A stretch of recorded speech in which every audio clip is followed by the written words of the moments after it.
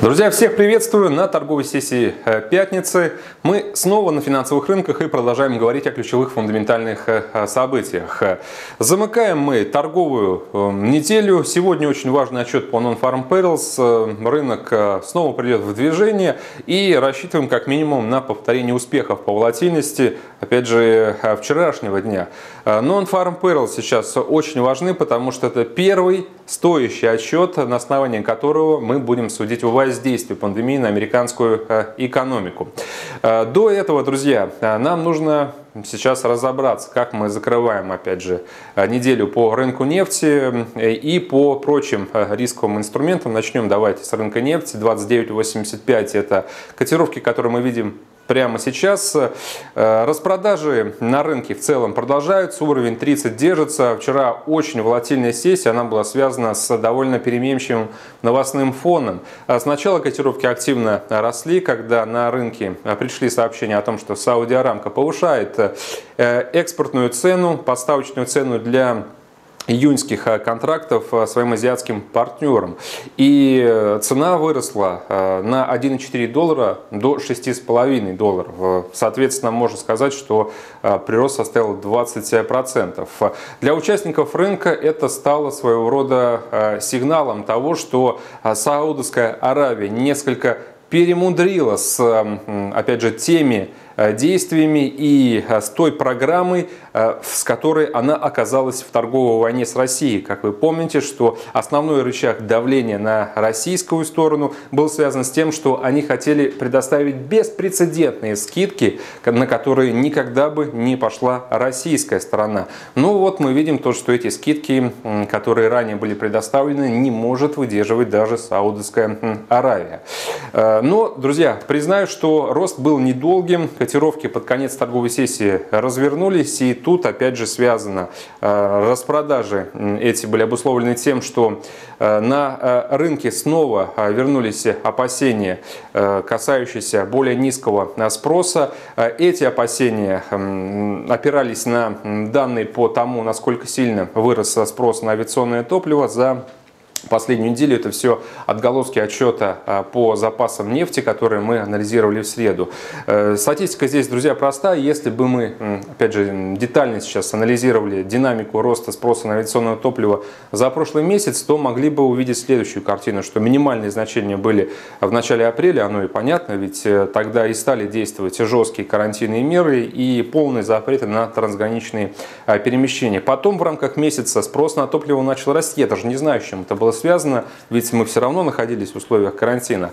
Однако вот э, э, по итогам э, последней недели апреля снова спрос на авиационное топливо просел до тех уровней, которые мы видели в начале месяца. И на основании этого я как минимум делаю вывод о том, что спрос на углеводороды, он не будет, друзья, восстановлен до тех пор, пока не э, снимут все вот эти трансграничные жесткие меры, не позволяющие людям перемещаться по территориям, пока не, собственно, снимут карантин. Ну и на рынке также были сообщения о том, что есть сомнения касательно некоторых участников сделки ОПЕК+, плюс касательно их чистоплотности в соблюдении обязательств по сокращению добычи.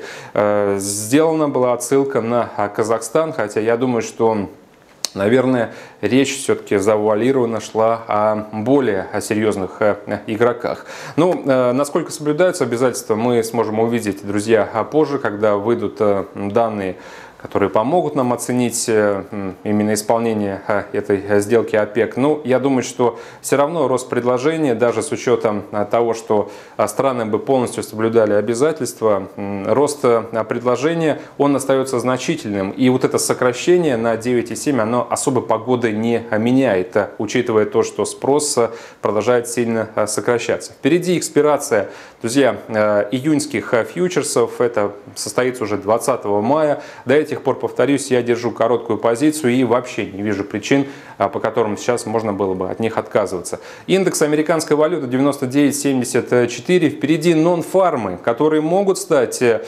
исторически плохими, могут показать самый худший месяц по росту количества новых рабочих мест. По прогнозам, без работы осталось, это будет официально зафиксировано, 22 миллиона человек. Уровень безработицы мог вырасти до 14%. Сегодня, друзья, повторюсь лишь, моя тактика действий следующая. Чем хуже выйдут данные, тем больше будет шансов у американской валюты упрочить и укрепить свои позиции.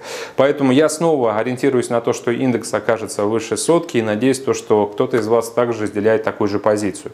Евро против доллара 1.0843. Здесь, в принципе, ничего не меняется. Я не обращаю внимания на локальный Э, проход покупателей на, э, скажем, переход инициативы от продавцов к покупателям Потому что позиционно картина не меняется. У нас куча слабых отчетов, которые, э, кстати говоря, на этой неделе у нас были и производственные заказы, и э, динамика промышленного производства в Германии.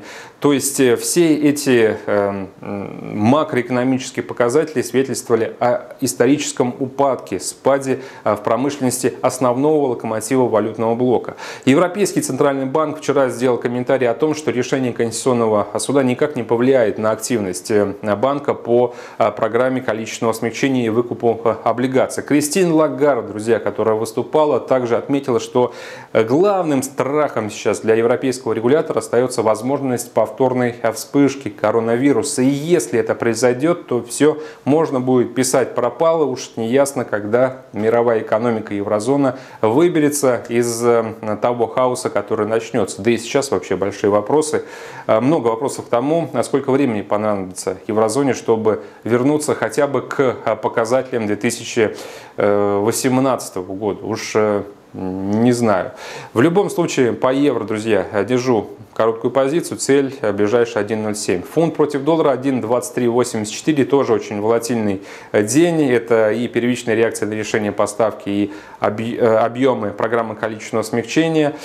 Ставку и объем QE не изменили, как вы помните. Поскольку участники рынка рассчитывали на доп. стимулирование, то, соответственно, не получив его, трейдеры стали активно выкупать фонд. Потом стал выступать Бейли, отметив, что прогнозы экономического роста на второй квартал серьезно ухудшатся, ухудшены до 30% в рамках квартального роста, а спад э, по итогам 2020 года превысит 7%. Э, И, конечно же, Белли отметил, что при необходимости Банк Англии будет готов вмешиваться в ситуацию, чтобы помочь экономике нейтрализовать последствия пандемии. Я думаю, что э, между строк это был намек на то, что объемы программы количественного смещения могут быть увеличены, тем более, что действующие лимиты текущей программы QE истекают уже в конце июня. Но без новых стимулов а, английской экономики не обойтись. Добавим сюда еще неопределенность по Брекзиту, и вот, пожалуйста, возможности для того, чтобы мы все-таки дожали пару фунт-доллар до уровня 1.20. Сейчас э,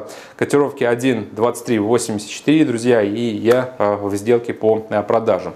Золото 1714, мы выросли, цель, вы знаете, 1750, биткоин 9902 доллара, мы добрались до цели ближайшие 10 тысяч, но это еще не предел, друзья, основной событий халвинг следующей неделе, вторник, и увидим а, биткоин еще а, дороже. Я ставлю на то, что следующим целевым ориентиром могут стать значения 12 тысяч и 12 с половиной тысяч.